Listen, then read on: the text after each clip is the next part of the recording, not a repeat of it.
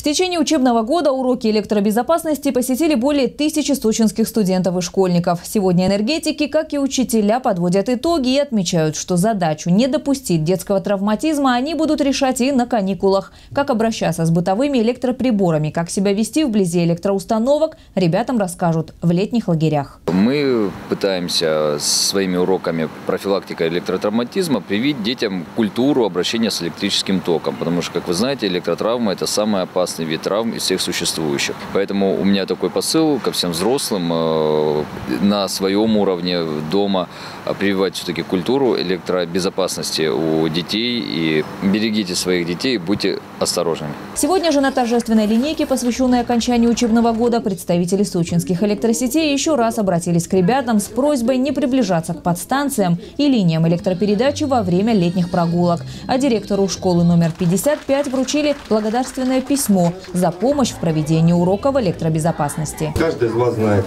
что самое дорогое и ценное – это ваша жизнь и здоровье. Поэтому, чтобы вы э, провели эти каникулы с пользой, получили от них только массу положительных впечатлений, помните о том, что мы вам рассказывали, не соблюдайте элементарные правила электробезопасности, и все будет хорошо. Поздравили представители Кубань-Энерго и лучших учителей как самой 55-й школы, так и в целом Краснодарского края. Это Тамара Матушенко и Ольга Забарова.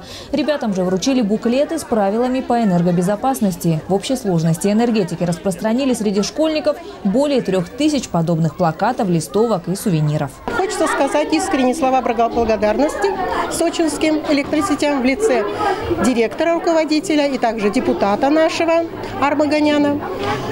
Конечно, уроки электробезопасности важны как детям, так и родителям. И надеемся, что в следующем учебном году мы увидим сочинские электросети в списке наших партнеров. Что же касается выпускников, то им предстоит усвоить еще немало правил. Впереди их ждут не только экзамены, но и великие дела. Инга Габиша, Демид Даниловский, телекомпания «ФКТ».